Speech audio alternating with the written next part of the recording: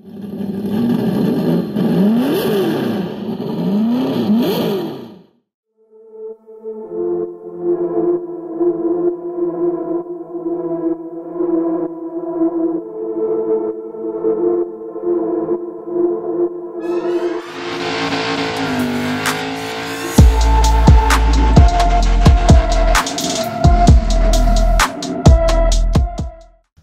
right, so Project Reaper had been very slowly uh, beginning to get like a lot of play in the shifter, and I have a T56 um, trans with the Hurst short throw shift, so like those don't really have any like play to them at all, really. So, um, and honestly, it happened so slowly, like I really didn't even realize it until like it was actually kind of bad.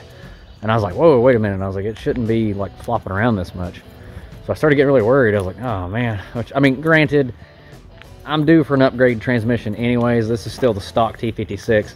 And I don't know if, how long you guys have been watching the channel or not, but I'm not necessarily gentle on it.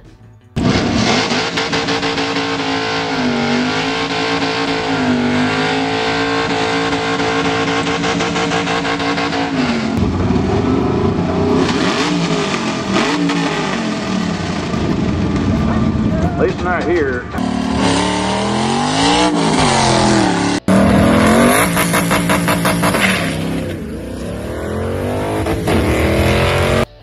Anyways, uh, I would really like to upgrade to like a Magnum or anything. But for the time being, I need to take care of this one. So uh, I decided to check in and see why in the world my shifter was flopping around so much. So after pulling this up, got a real good look at it here. And it's just this. It's just these. Let me tot them up real quick.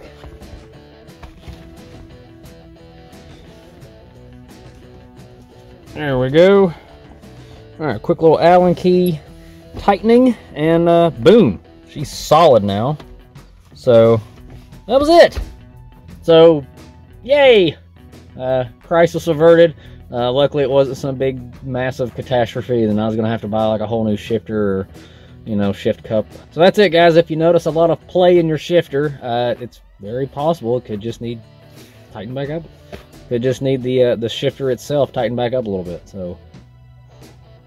All right, guys. Thanks for stopping in. I really appreciate it. Like, I really feel like we're getting close. Like, I feel like this is good bonding time for us.